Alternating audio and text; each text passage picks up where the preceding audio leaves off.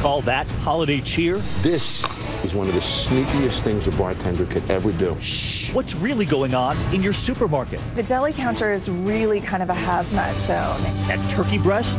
That's a bunch of, of pieces of turkey meat that have been shoved into essentially a giant condom. Shh. Plus, pulling into the mall parking lot tonight, confessions from a car thief. Separating the whole door from the body of the vehicle. Are you driving the easiest model to steal? And do you really think you locked your car? Not when the thieves have one of these. This is like something out of James Bond. And we can't forget about the pets this holiday. Tonight, the vet is confessing too. Who's really wearing the cone of shame? I'm saying things that need to be said that aren't being said. Follow 2020's Undercover Pup, a holiday guide like you've never seen. 2020 True Confessions. Here now, David Muir. Tonight, we take you on the inside, a revealing look behind the bar, the back room of the supermarket, into the mall parking lot, a ride along with a car thief. Use one of those remote locks. Is your car really locked after all? Deborah Roberts tells us tonight, don't be so sure. Stealing cars is a blast in Grand Theft Auto 5. So fun, the video game made a billion dollars in its first three days on the market. But in real life, Let's go, baby. Just take a car is stolen every 43 seconds. Make a right, make a right. Close to a million a year. Steve Fuller used to do it all the time. So you were pretty good at what you did. Yes, I've taken a lot of cars. With six convictions for stealing cars, Steve says hundreds of other times he drove off scot free. Okay, so let's be clear. You're not stealing anybody's cars today. No. I stole cars because I was on drugs and I needed the money. Why are you talking to us about it? Because I've changed my life, I'd like to make up for some of the damage I did.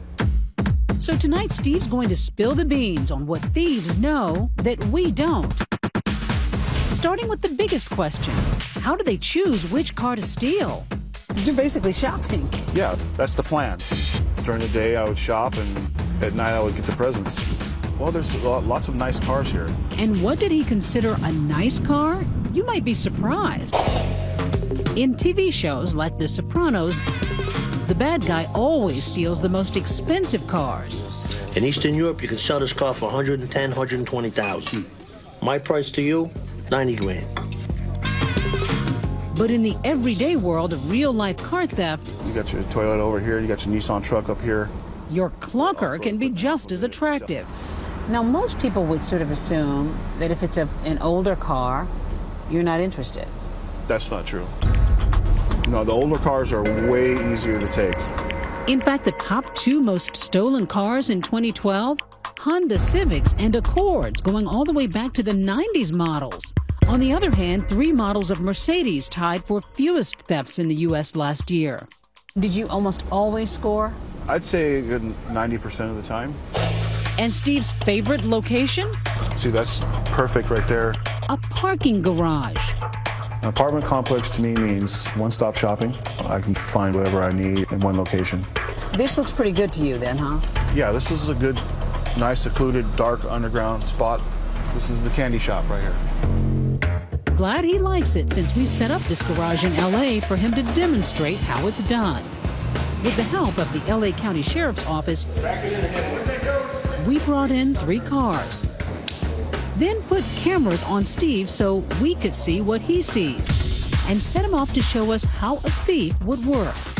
Two cars are locked up tight, but car number one, like many we spotted while driving around, has a barely open window. That's money. That's the easiest. It's cracked open maybe an inch, but for Steve, that's plenty. A window that has enough room for me to stick my fingers in. Just get this open. I can get out of its track by rocking it back and forth. Pull just hard enough to get my arm down in there and reach in and unlock it. Bingo in less than 10 seconds. Now for car number two. So all I'm gonna do is go ahead and use my tow truck lockout kit. What's in a lockout kit? Basically, it's a wedge and an air bladder. I'll slide this airbag in. A few pumps of air, What it's doing is separating the whole door from the body of the vehicle. It's leaving me a gap to put my tool in. Let's take this tool, stick it right in here, like this, right down to the lock. Now I'm in. And he's inside car number two in less than a minute. Now for car number three, his least favorite method. Ready? I'd break a window. You'd break a window and risk the noise. Break it with what? Would you believe a smashed spark plug? A little piece of porcelain is all it takes. Throw the piece of porcelain at the glass. The glass will shatter and it'll stay in one piece. So it's one thing to get in, but you still don't have the key. Yeah. So then what do you do? Sometimes he doesn't have to do anything. Many of us leave keys in obvious places. The ashtray, the door panel, center column. So we think we're being clever. You're just making it easy for me. That's how Steve started car number one. Yep, bingo, there's the key. But here's a scary secret. Even if you didn't leave a key in the car, the manufacturer may have put one there anyway. It's called a valet key. A lot of people are not aware that they have a valet key in their vehicle. There's a spare key in the car, Yes. and you know it, but the owner often doesn't. No, they don't. For example, in some BMWs, that valet key is in the toolkit. For smart thief, easy pickings. But if he can't find that key, he creates one. Trying to thin it out a little bit, knock the edges down. Steve says a filed key can start a lot of cars. He tried one on car number two. I'm jiggling it back and forth in the ignition, trying to hit all the tumblers and get them engaged. It's not an exact science. But sometimes you put it in the ignition and boom, Yeah. you're off and running. And away he goes. Steve doesn't steal cars anymore, but was he kind of the classic car thief? Yeah, absolutely. Lieutenant Jeff Enfield runs an auto theft task force in Southern California, focusing on thieves like Steve used to be, but increasingly on high tech modern crooks. Is it harder and harder to stay ahead of the? Oh, absolutely. thieves? We know they're working every day to defeat the next device. A device like this one that prevents you from locking your car. As the driver gets out, he thinks he's automatically locking his car. But Lieutenant Enfield blocks the signal with this small transmitter. If this were real, the doors would remain unlocked. So you may want to click two or three times to be sure. These car thieves, they're computer hackers as well. They're getting into your vehicle, which is a large computer, and are able to hack into that system and obtain key codes and other information. Here's one way they do that. To plug in the device, This little gadget. we go to the function, program, key. First, it hacks into your car's computer, then copies the data to start the car electronically. OK. And voila, The device will tell you to start the car. Press the key. the thief is on his way. This is like something out of James Bond. It, it almost is, isn't it? It's crazy. Yeah, it is. We learn things every day from these car thieves out there. So, what happens to your car after it's been swiped? Well, if you're lucky, it's just been taken on a quick joyride and you'll get it back. Get your hands up! Let me see your hands! But these days, the pros are making the biggest bucks shipping Hot Wheels overseas, never to be seen again. And of course, there's the classic chop shop, where stolen cars are stripped down for parts, where Steve used to go. When you would start up a car and you drive off with this stolen car, what was that feeling like? Unfortunately, at the time, it was success. I got what I needed to support my addiction. I'm not thinking about, yeah, woohoo. Just get the vehicle go. Confessions of a car thief tonight. And when we come back here, the secrets of the grocery store revealed. What's really underneath that expiration date? But first, the vet confesses. But are they selling you something you don't need? Our undercover pup. It's the big upsell. Get that dog back in, it's gonna be much more profitable. The vet in the doghouse.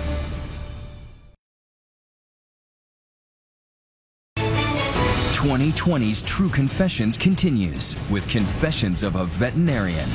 Now, Gio Benitez.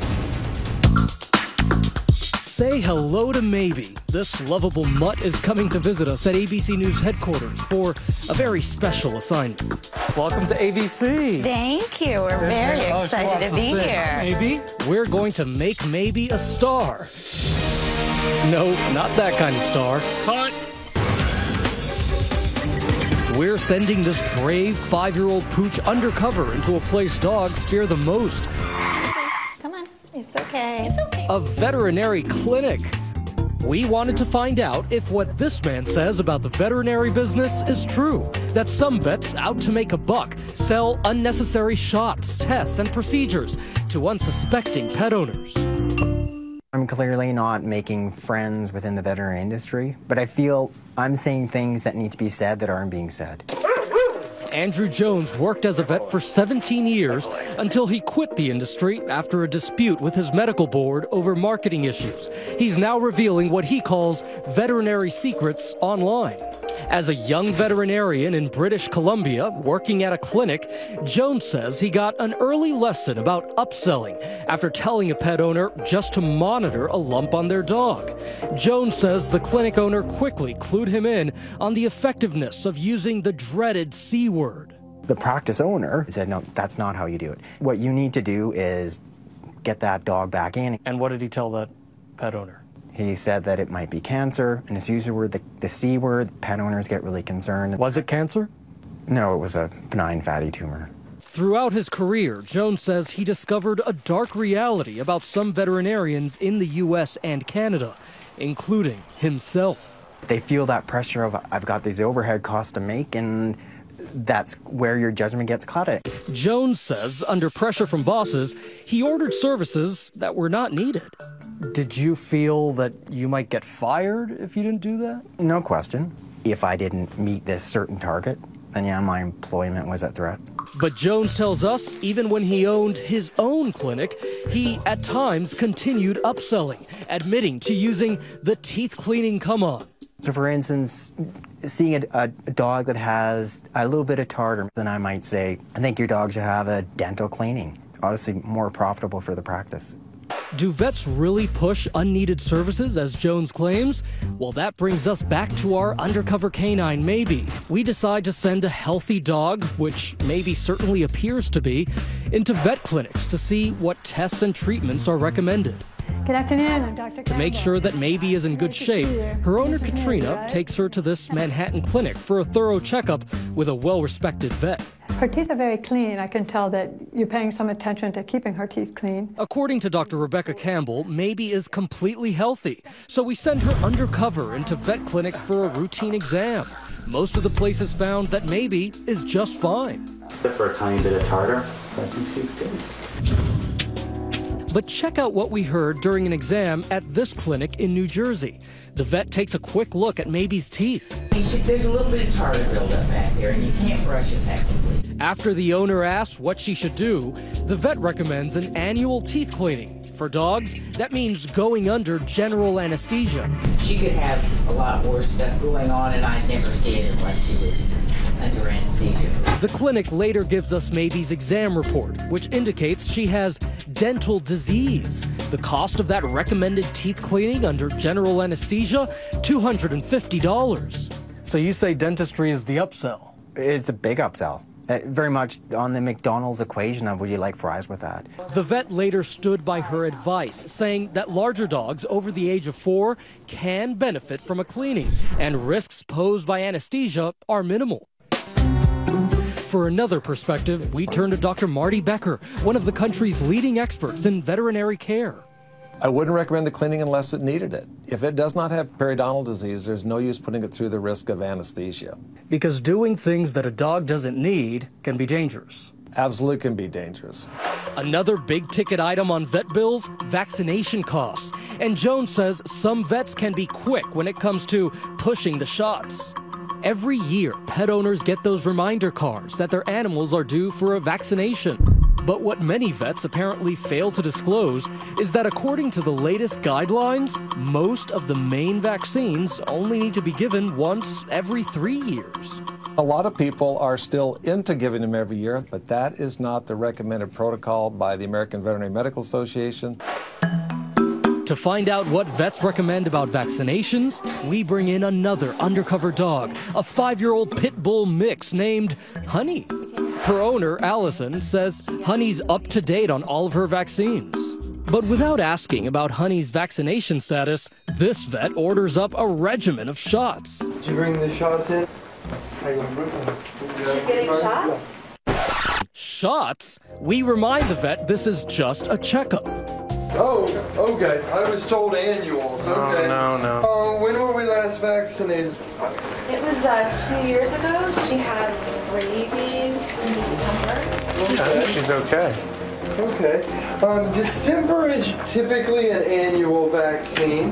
But industry guidelines say the vaccine for distemper, a viral disease, is good for three years. The clinic later told us that a vet's individual judgment is just as important.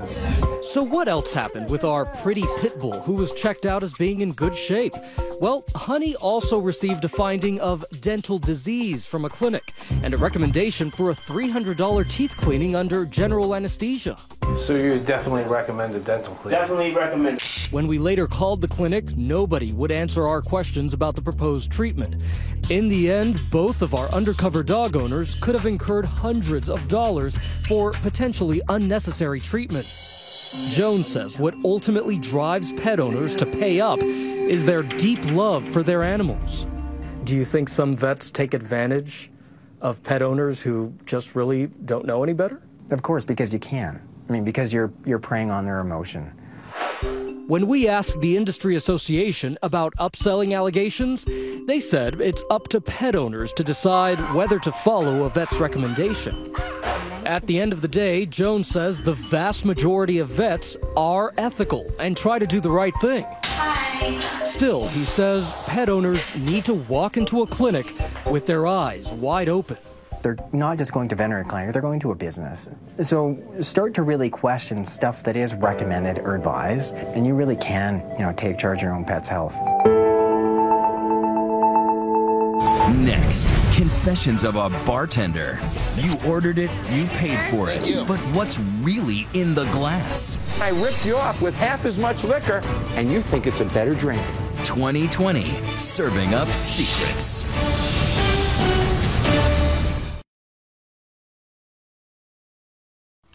Heading out for holiday cheer, tonight we go behind the bar here. That drink you ordered, what's really in your glass? Only the bartender knows for sure. Amy Robach with the bartenders serving up confessions tonight. Friday night, step into a bar almost anywhere. And you'll find people looking to unwind, bust loose, and get their drink on. But someone has to run the party, and that someone is the master of mixology, the bartender. Because ultimately, you're in control. You've got Yes, the alcohol right exactly, and yeah. that's what they want. The customer's king in the service business, but it's, you know, it's not absolute. Whether it's Absolut, Heineken, or Jack Daniels, Ben Molina has poured it all. I'm thinking we're doing something, something fun, something exciting with whiskey. And there you are. Thank you, sir. Thank you. Enjoy. And the bartender and co owner of Cinco in Los Angeles poured it all out to us, revealing all the little ways barkeeps can mess with customers they don't like. How do you deal with rude drunk people? Um, there are steps you can take. Steps bartenders rather you don't know, such as step one, the silent treatment. An obnoxious customer might simply get ignored. Deliberately not get their next drink. Oh, yeah, absolutely. You have that power. You can make them wait. Yes. Step two, the disappearing liquor treatment. The next drink might come minus the alcohol. You get nasty when people want their drinks. And step three, how about the Visine treatment? A few drops, and an unscrupulous bartender can send you running to the bathroom or home. Sometimes the Visine is a better alternative than a fight. John Taffer is the host of the Spike TV show Bar Rescue. Every week, he finds another bar with another dirty secret. I got your frickin' game, and I know exactly what you're up to. And here's his sad but true confession. Some bars mess with everybody, not just the rowdy drunk. How often have you found bars ripping off the customer? You know, all too often. He met with us at New York's Marquee Club to demonstrate how easy it is for a bartender to cheat you by demonstrating three cocktail cons. Number one, the short pour. I'm going to charge you for a full drink and give you about half a drink. And I'm not going to know. You won't know it. I'm going to take an ounce of scotch and put it in the shot glass. I'm going to take about a half an ounce and put it in that shot glass. It's less until you add this crushed ice, the key to the con. One of the things you look out for in a bar is crushed ice in the bin. Who knew? Watch what happens. Look at the difference. It looks almost the same. That even still looks a little more. Short pour, big ripoff. So you can pour a lot less and make it look the same. You got it. So if I top this with cola, look at how little it takes. So this one I ripped you off with half as much liquor, and you think it's a better drink. Number two, the long pour. This is what we call the long pour. What you think is the long pour. I give you, look, how are you? That real special look. Little twinkle in your to take care of you? Right, I put my bottle up. Wow. Long pour. You think you got a lot? You didn't. When you lift that arm, you create the illusion of quantity. It's all illusion. You felt special, and I'm ripping you off. And last but not least, number three, the sneaky pour. This is one of the sneakiest things a bartender could ever do. You're gonna see me pour a real lot. Three, four, five, six, seven. Now that's as much time as two and a half ounces of liquor would be. John fills the drink with soda and plops in a straw. A nice looking drink, but he's ripped you off. How? Every liquor bottle has an air hole. When I cover that air hole with my finger, the fluid stops coming out. Here's the normal pour. Normal. With my finger. He pours a weak drink, but you're convinced it's strong because of this. Straw sitting in a glass of vodka hidden behind the bar. When I take that straw out and I put it in your drink, what's the first sip you're going to get out of that straw? This is a good, strong drink. Straight vodka. And after that, you forget that the drink is kind of weak. Forget it. You're saying, John, great drink, great drink, and you're throwing the tips at me. But Taffer says bars don't even need to know this sleight of hand to con you. And in a bar business, sometimes people are losing so much money and they get desperate. They'll do whatever it takes. That they do. For instance, the oldest trick in the bartending book pouring cheap stuff into empty bottles of top shelf liquor, or simply watering down the booze. Easy to do, very hard to prove. I don't think that tastes like Tanqueray. It tastes cheap. Can you really taste the difference if it's mixed in something else? I would say probably 90% of people know. Have no idea what alcohol they're actually drinking. They wouldn't know the difference between a well vodka and a Grey Goose. and, like, You know. Back in Los Angeles, Ben's helping us put that to the test. We bring in two panels of four volunteers. We're gonna have a little fun here. Ben mixes three vodka and cranberry drinks for each of them. One with Grey Goose, the other two using a brand no one knows, Nikolai. This is a bottom of the barrel vodka. The drinks all look the same. Go. Will they taste different? Go with your instincts. Pick which one you think is Grey Goose. All right, we'll let the games begin. Yeah, They're all great. I'm really battling between two of them. It's hard. The Grey Goose is in glass number one for every person. On the count of three, one, two, three, reveal. Both times it's the same. Three out of four drinkers get it wrong. They would have been easy victims. Yeah, that is um, kind of unsettling, yeah. I, I definitely would feel ripped off. kind of makes you think like, well, why is this alcohol so much more expensive if you can't tell the difference between the two? That's what Todd Tarzinski wants to know too. He was a regular customer at this TGI Fridays in New Jersey. His usual drink? What else? Grey Goose with cranberry juice. Not usually watching the bartender, simply because I never thought I had to. But then he heard some wild news. Something called Operation Swill. More info is coming out about Operation Swill. Cheaper liquors disguised in top shelf bottles. The New Jersey Attorney General busted 29 bars all around the state, including that TGI Fridays, accusing them of not just serving their customers the wrong booze, but even worse, rubbing alcohol. TGI Friday settled, but admitted no wrongdoing. I was shocked. I was very angry and shocked. Todd was so upset he sued, a class action which his lawyer says could be just the tip of the iceberg. It's the epitome of desperation. It's stupidity. Bottom line, want a stress free trip to the bar? What is your ultimate advice for people when they walk up to a bar? Be educated. Understand what a pour looks like, how much alcohol you should be getting, and the most important way you guarantee good service is leave when you don't get it. Thank you. A 2020 contacted the franchise owners of those TGIF restaurants that were sued in New Jersey, who told us that there was never evidence of a widespread problem and that the true facts will emerge in court. In the meantime, tonight, what about you? Have you ever wondered what's really in the glass? Ever think you've been fooled? Tweet us. Use the hashtag ABC2020. And next, right here, you've got to hear the confessions at the supermarket. Coming up, we go behind the plastic curtain. What's hiding underneath the expiration sticker? From blade to counter to scale, the secrets of the deli counter revealed.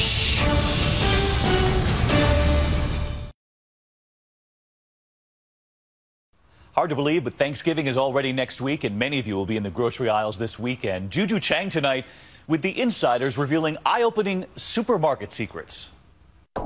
With Thanksgiving and the holiday feasting season firing up, you need to know the lowdown on that weekly pilgrimage to the grocer. Think about it. After rent or mortgage, it's often your second biggest monthly bill. Don't forget, your friendly neighborhood grocery store is part of a $600 billion business, and they're always looking to make a few dollars more. So grocers are counting on us to be lazy. Correct. Do the least amount of work. So we've assembled our own team of grocery insiders to pull back those plastic curtains. Veteran grocer Pete Napolitano, aka Produce Pete. Former store owner Maurice Nazardo, aka the Supermarket Suit. Lawyer for the Center for Science in the Public Interest, Sarah Klein, aka the Clean Queen. And our former cashier, Victor Pizarro, aka the Cranky Cashier. Now, before you even begin shopping, understand grocery shopping is a mind game. The grocer wants you in the store. They want to sell you what they want to sell you. They want you to come on the day they want you to come on. Well, everybody wants to shop on a Saturday, so the grocer will make specials effective Monday and Tuesday. So it's a retail seduction. It's a retail seduction. What's the first thing you grab walking in? Well, there's something you should know about those carts. Grocery store carts are germy, infested with whatever little bacteria anybody else who's passed through the grocery store that day is carrying. She's not exaggerating. In fact, a 2011 study found 72% of the carts they swabbed in four different states tested positive for fecal bacteria. Eesh. Wipe off that handle with an antibacterial wipe. Now look at all these apples we have here. When it comes to picking produce, pay heed to Pete's words of wisdom about pineapples. Now you see this pineapple here. You want the break in color. Break in color? So, what so does that mean? you see how it goes green and see how this is starting to break? The color is starting to break. Buying berries? Ever wonder what those colored pads on the bottom of the container are for? There's a secret behind them. See this pad here? Yeah. If it starts to go bad, that's going to stain up. So you know that the raspberries are going to go bad. And Pete says grocers gussy up the veggies with those spritzer hoses, but it's all for show. The water on the produce is for one reason and one reason only. It makes it look better. But water starts the, the deterioration process. So remember, dry your wet produce. So when you get it home, you're going to shake it really good. Shake it good. Pete's old school. I don't even wash it when I eat it. Which might horrify our germ tracker, Sarah. Almost 50 million Americans get sick from foodborne illness every year. The Food Marketing Institute sent us a statement saying, in part, that grocers are in business to serve their customers by providing safe, nutritious, affordable food. And food safety is the number one priority for supermarkets. But sometimes your produce can be a little too fresh. One woman claims she found, no joke, killer spiders from Brazil in a bunch of bananas she bought at her grocer. An extreme case, but did you know non lethal insect parts are perfectly legal in our groceries? The Food and Drug Administration allows a certain amount of insects and even rodent hairs in a lot of our food. Although it's unpleasant, it's not likely to be unsafe. Some rodent hair might be allowed, but make sure your store has a handle on any feasting pests, even though they may try to hide the evidence. The people of the store were actually like, we need to set up mouse traps behind aisles and in between shelves because there's obviously an issue. That's not good for business. It's really not. So, like, they try to hide it. And it might not just be mice, according to Victor. So I pull the cart and I hear a noise. And then I look down. I want to say a roach like this big. Now, the deli is a popular stop off for shoppers, and sometimes bacteria. The deli counter is really kind of a hazmat zone in uh, grocery stores, and that's because listeria, which is one of our kind of hardiest and most dangerous bacteria, can live on plastic and metal. From the blade to the counter to the scale, it can be a walk down listeria lane. No wonder pregnant women are advised to steer clear of some deli items. In fact, it's such a concern that in May, the USDA and FDA released a report outlining ways delis can reduce the risk of listeria contamination. So Sarah says, watch out for a dirty deli. Even prepackaged meat can have listeria, but it's probably the safer choice. One of the most important things you can do with deli meat, no matter where you're getting it from, is use it or toss it within three days. And here's a fun fact Sarah says not all those hunks of ground or boneless turkey are from one animal. It's called a chub. That's not the shape of an animal in real life. That's a bunch of pieces of turkey meat that have been shoved into essentially a giant condom. All our insiders say look for deals in the store. The manufacturers pay to have their item at eye level. So if we go away from the eye level, we're actually maybe looking for some bargains. Yes, that's true. But look closely.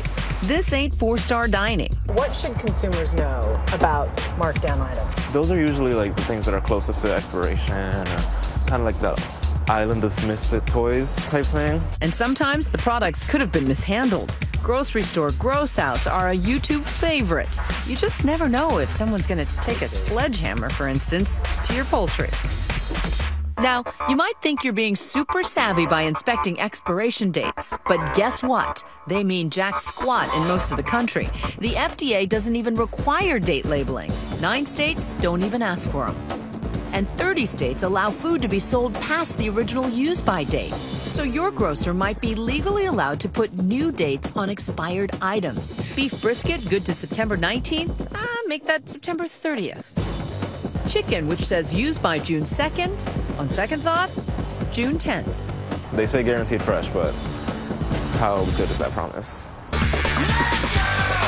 Now, most grocery stores do a great job of keeping things clean and taking care of their customers. But just make sure you keep your eyes open, or you might come home with something you never intended to buy. Next, what do those big rig truckers know that we don't? If the driver's not actually looking for you, he's going to push you off the road. Take a ride behind the wheel and find out what really happens at those truck stops after dark.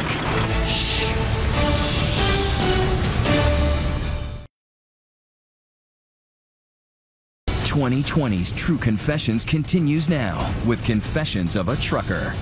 Here's Jim Avila.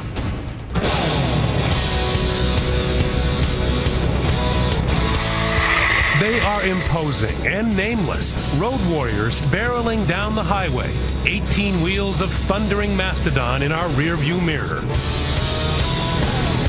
I think the general public might look at us and think that we are kind of dirty, uneducated. But surprise, in today's economy, you're just as likely to find guys like Lauren West behind the wheel of a big rig. That's going to be burned off in a day and a half. A 46 year old college graduate. He let us ride along in his flatbed, vividly labeled a skateboard in trucker slang, and spilled secrets from his life on the road. This trip is going to be from Cloquet, Minnesota to Pearland, Texas. 23 hours, 1,400 miles. Should be able to do it in less than two and a half days. But first, his daily check under the hood. The brake chamber, slack adjuster. Securing his 43,000 pounds of ceiling tile. And inspecting all of his 18 tires. The danger, shredded tire debris, known as alligators, can send a car swerving and unsecured cargo can become a vicious projectile like this wooden plank. But trucking is one of the deadliest jobs because we're just as big a danger to them as they are to us. Aggressive, hyperactive cars, truckers call them bunny hoppers. That was a close one. Two vehicles in a row took a chance and cut in front of a big truck. Get away from my truck, Get away from my truck. And take a look at what can happen when one vehicle does cut in front of the other. Don't move or I'm going to choke you out. The rage can spill out of the cab and onto the road. The burly car driver got in the most slugs, but the truck driver was taken away in cuffs for allegedly throwing a bottle at the car. Cut me off. Unexpected hazards are part of the job. And if there's a sharp turn in the road or something like that, yeah, you're getting cut off. Sorry. Ryan Morris is a 30 year veteran of the road. Joking aside, he confesses the fear of accidents looms large in a trucker's mind. So, what have these guys learned? Here now, the truck driver's top tips to avoid becoming roadkill. First of all, not everyone can hold a line like these two stunt drivers in a new Volvo truck commercial, with Jean Claude Van Damme's manhood at their mercy. Many truckers on the road are newcomers. Beware of the rookie rock. Because they'll be going down the road, they'll, they'll be wiggling. Don't forget bad weather can exaggerate the slightest of mistakes. And rain can quickly blind the driver. It's actually more dangerous to drive in the rain than it is the snow or the ice because of the mist that comes off the tractor trailer. And always maintain eye contact, even if it's a reflective gaze. When you're passing a truck and you look at that mirror, if you can't see that driver, that means he can't see you either. If the driver's not actually looking for you, he's going to push you off the road. Yes, there's no highway terror quite like a truck wreck. Whether it's jackknifing, smashing into an overpass, or deadly pileups. In fact, truck fatalities have increased for three consecutive years. That's why most drivers have a Big Brother type computer on board, monitoring their every move. You have 11 hours and 0 minutes of remaining drive time. There's no room for cheating. But truckers can be innovative. Just two weeks ago, investigators released video of this trucker allegedly using his wallet to block the company's dash cam. He seems to be cruising Facebook on his phone, and it does not end well. The distracted driver plows into parked police and fire vehicles. So, how does a trucker safely avoid boredom for 11 hours behind the wheel? The best source of entertainment may be right out the window. Truckers confess it's the great view they have of you. I have seen everything from intercourse to completely naked drivers getting dressed. And the CB is the worst thing because somebody said, hey, there's a really good looking girl and we got a low cut top. I'm sorry, honey, I, didn't, I don't look. When the driving day is done, truckers often pull into a full service truck stop for the night. The Ritz, it is not. And the cuisine? Perfect. You smell that? Took me three minutes to cook, three minutes to eat. No home cooking, but plenty of home sickness. Call home. Lauren only spends a handful of nights at home each month. You get your homework done? Okay, tell Petey and Jack I love them. All right, bye. Lauren spends his downtime alone, while some bring their own four legged friends. But for others, when the loneliness hurts too bad, there are options for paid companionship. Truckers label lot lizards, ladies of the night. You've been away from your wife for two or three months on the road. We here to provide whatever these truck drivers need. I have been propositioned a lot. First of all, I would never do that to my wife. Second of all, I don't want something that I can't get rid of either. Lauren wakes up with a clean conscience the next morning. Get up and run a baby wipe over my face. The luxury of a hot shower can cost 10 bucks, so most truckers just skip it. Ready to go? The longest I've been was four days without a shower. No, there's not much glamour to trucking, and they are only paid when the tires are moving. So, with all that downtime away from home factored in, their hourly wages add up to as little as five bucks for a critical job. Lauren finally makes it safely to Texas and unloads his cargo. This is the hardest part.